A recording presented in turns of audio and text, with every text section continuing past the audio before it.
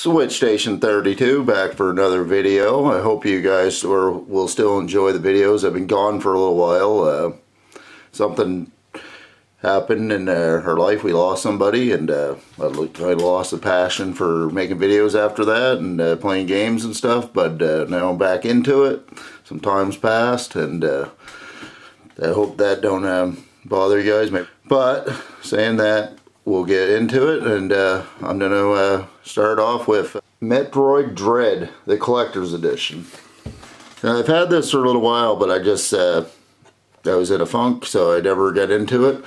And I didn't want to open it without sharing it with you guys. So we're going to try to start knocking videos out again. And uh, the channel's been doing all right even in my absence. I have been uh, doing stuff to make sure the videos are getting shared one of my good friends he played Metroid Dread and he told me it was awesome. He was playing it when it first came out. He got me super pumped up for it. I already had the collector's edition uh, pre-ordered. My kid's switch ended up breaking and uh, I give him my switch so I have I gotta get a new switch. I'm hoping to get the OLED sometime. We'll unbox that on the channel. My, one of my good friends told me about this game. He was playing it when it first came out. He's one of my best friends. And he loved this game. He said it's hard, but it's it's just hard enough that it's frustrating, but in a good way. And uh, he loved it. I'm pretty sure he played multiple playthroughs, and uh, I can't wait to uh, open this, and I'm pretty sure he's looking forward to this video too. This is a beautiful collector's edition. One thing about Nintendo Switch, their collector's editions are the best. They're, they're small, they're compact, they pack a lot of stuff in them, and they look good on the shelf. PlayStations are awesome collector's editions. They're big, they come with a nice statue, but they're really expensive, and you can't if you don't have a big, big game room, you can't really put the boxes anywhere. You have to take the stuff out of the box and then put it on a shelf and then put the box away. So you're not really displaying the collector's edition. I was I had the Horizon Zero Dawn one pre-ordered, but I canceled it because it come with the statue and it come with the steel book, but it didn't come with a disc. Just come with a digital copy. And I didn't really like that because I'm gonna have to I felt like I was going to have to go buy the disc later on buy the game with the disc just to put it in my steel case. I don't want to have a steel case and no disc to put in it. I don't I don't like that. And uh, I think Nintendo Switch has been killing it with their collector's editions. So saying that, let's get into it. Really, I'm really, really excited to see this. I haven't watched any videos to see what's in here. All I seen was the picture when I first pre-ordered it. That was a while ago now.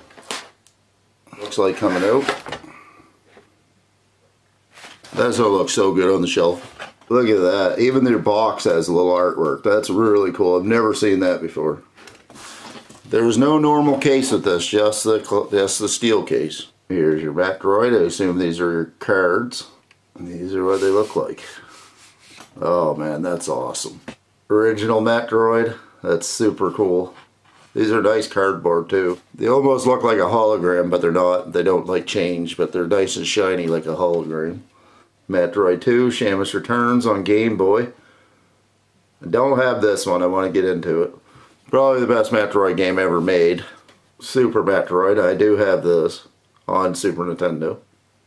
Metroid Fusion, I have this too. I have the regular one on NES too, I forgot to mention. And there's your Metroid Dread one. Really cool. It just comes with the steel case, which is still cool. Really nice steel case. So the steel book, it's a really nice steel book. Almost like a matte.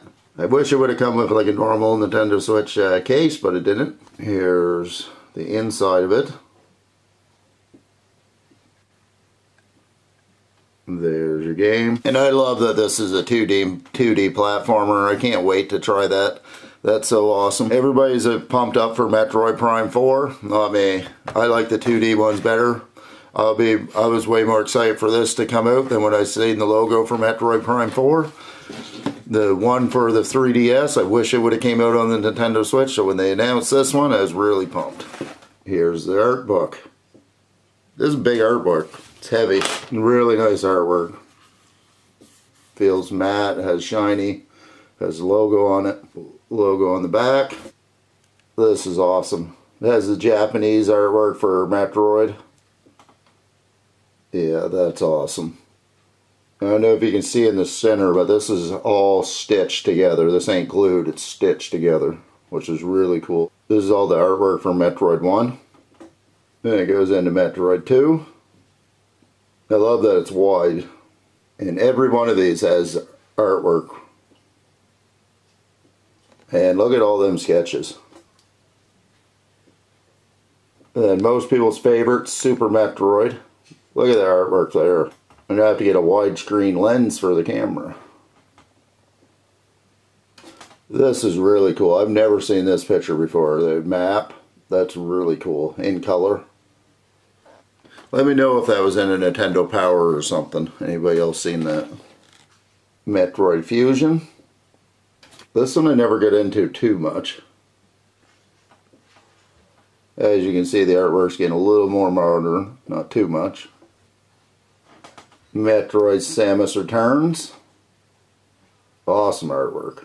And as you can tell, the artwork's getting more and more modern as we go through. Then we'll get into Metroid Dread, and won't get show everything in Metroid Dread because I don't I don't want everything to be spoiled for anybody that hasn't played the game yet. But this is a really nice artwork. This is one of my favorite art books that's come with a collector's edition. Is this one has this one has the history. This here's the stuff I really like, the hand sketches and shows how it became what it was, the original art form. Here's some of the map. They show a lot of the background. Oh, I'm excited to play this just by going through this.